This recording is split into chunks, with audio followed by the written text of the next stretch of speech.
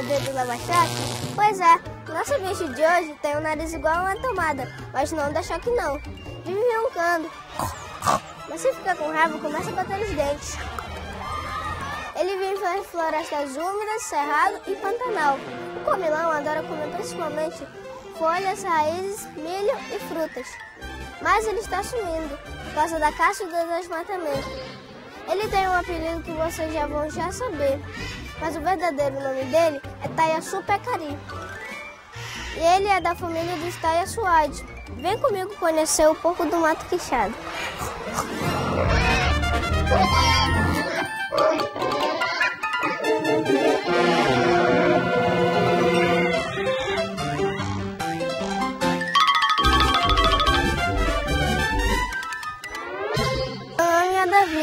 E eu vou falar com a Tenente Sinandra.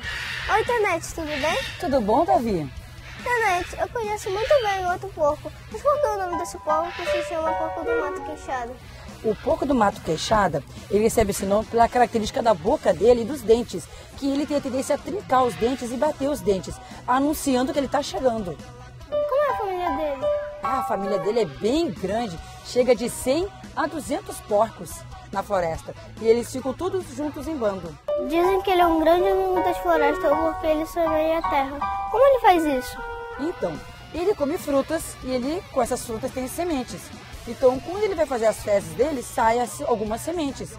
E como ele tem a tendência a cavocar a terra, ele acaba plantando essas sementes. Então, ele faz a semeadura, na verdade, das novas áreas e florestas e plantas na natureza.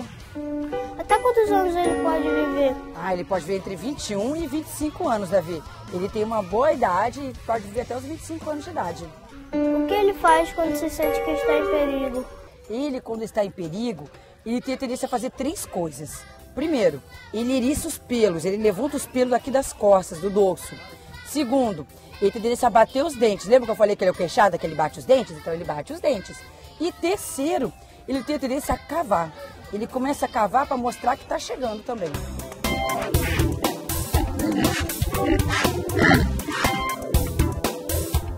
O que eu posso fazer para ajudar ele a não desaparecer? Então, Davi, para ele não desaparecer, a gente deve cuidar das florestas, porque é o habitat dele. E além disso, tem a questão da caça predatória. As pessoas têm tendência a caçar o queixada por causa da carne dele. Então, deve-se caçar quando caçar, para se comer e não para se vender. Então é essa a questão, a caça predatória e a perda de habitat. Assim a gente vai fazer com que ele possa ter mais queixadas na floresta. Obrigado, Tenente. Obrigada, Davi. Amiguinhos, devemos sempre cuidar de nossa floresta, para que o pouco do mato continue a viver. Eu sou o Davi e fui a porta de Eu Sou o Bicho de hoje. Tchau, tchau.